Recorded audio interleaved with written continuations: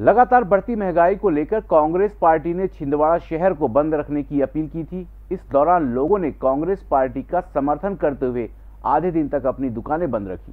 Petrol, diesel और रसोई gas के दाम आसमान छू रहे हैं। इसको लेकर कांग्रेस पार्टी ने एक दिन का बंद का आह्वान किया था, जिसका समर्थन भी देखने को मिला। महँगाई के विरोध में आमजन ने कांग्रेस का साथ दिया और आधा दिन अपनी दुकानें बंद रखी। परासिया में ब्लॉक अध्यक्ष हेमंत राय का कहना है कि लगातार देश में महँगाई बढ़ती जा रही है।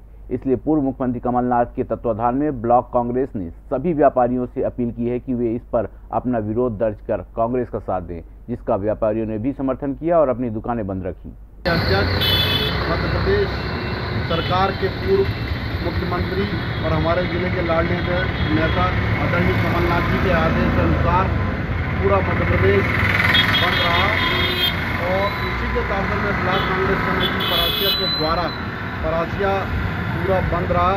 मैं ब्लॉक कांग्रेस कमेटी के माध्यम से पूरे परासिया के व्यापारियों का बहुत बहुत आभार व्यक्त करता हूँ।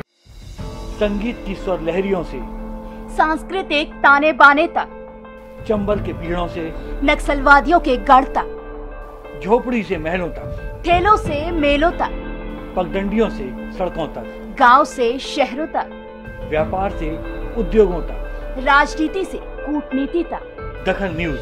आपके हक।